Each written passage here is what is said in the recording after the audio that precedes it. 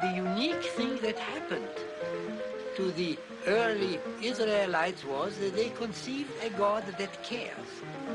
He cares, but at the same time, he also demands that you behave morally. But here comes the paradox. What's one of the first things that that God asks? That God asks Abraham to sacrifice his only son, his beloved son, to him.